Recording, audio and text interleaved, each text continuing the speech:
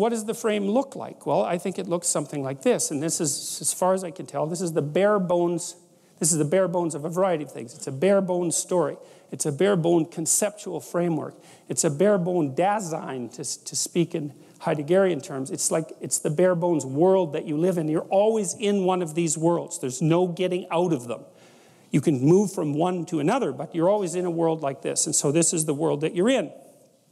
You're somewhere, because you have to be somewhere. Now, you might not know where that is, which means that the somewhere that you are is chaotic, in which case you need to go over your past in great detail and figure out where you are. It's like you're lost, right? You're, you're lost, and the problem with being lost is when you're lost, you don't know where to go. And the problem with not knowing where to go is there's a million places that you could go, and a million places is too many places for you to go without dying. So being lost is not good. So you need to know where you are.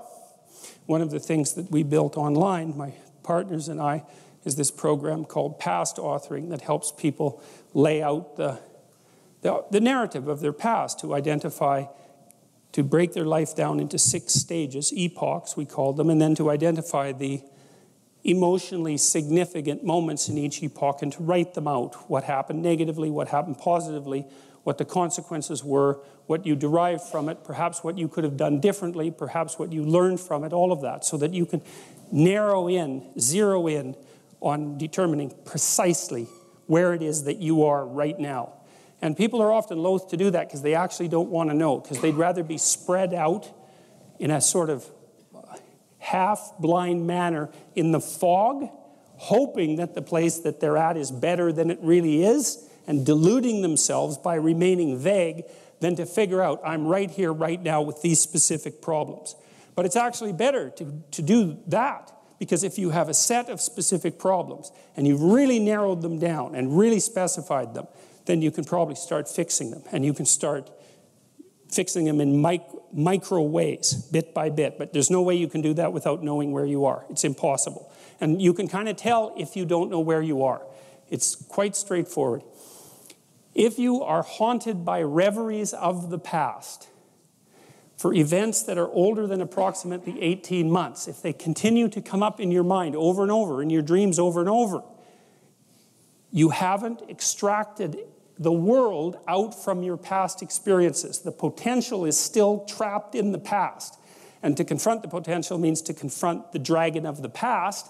And of course, that's terrifying, and it can seriously be terrifying. So, for example, maybe you're vague and ill formed and ill defined because you were abused very badly when you were a child, four years old, something like that. And maybe you were abused by a family member because that's generally who does the abusing.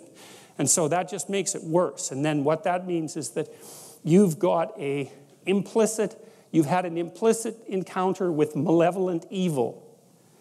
That no, you've had a direct encounter with malevolent evil, but you have an implicit hypothesis of malevolent evil that's plaguing you. It's still there. It's trapped in the memories, right?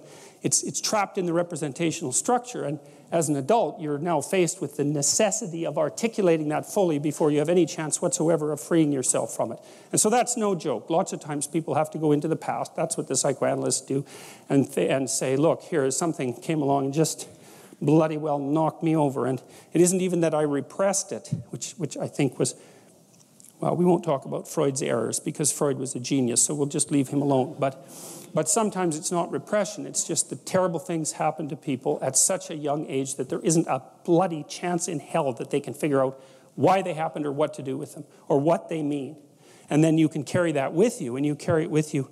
It's like your, your, your body encounters the world in stages and it happens very rapidly. Well, it can extend over years, but the initial stages happen very rapidly. So, for example, if you're walking down the road and you hear a large noise, a loud noise behind you, you'll go like this. That's a predator defense response, by the way. You crouch down, and that's to stop something from jumping on your back and getting at your neck too easily. That's like a few, few hundred milliseconds. It's really fast, or even faster than that. And it better be because something like a snake, we'll say, can nail you just right now. So you better be fast.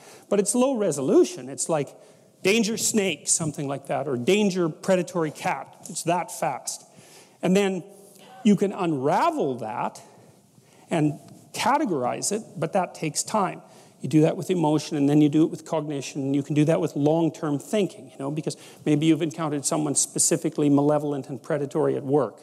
That happens to people a lot, who's operating as a, as a destructive bully and who seems to have no positive function whatsoever and is only living that out. And then you, you, know, you don't know what to do about it. So you're, you're in prey mode I don't mean this kind of mode, although that would help too. But I mean, you're acting like a prey animal, and then you have this terribly complex thing to decompose, which is what the hell's up with this person? Why are they making my life miserable? What is it about me that allows them to make my life miserable? That's a nasty little road to walk down. And you're stuck with having to, you're stuck with having to decompose it.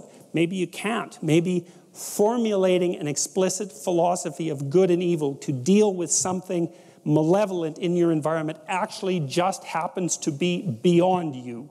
And that could easily be. It's certainly the case for people who are young, and it's the case for plenty of adults as well. It's no simple thing to,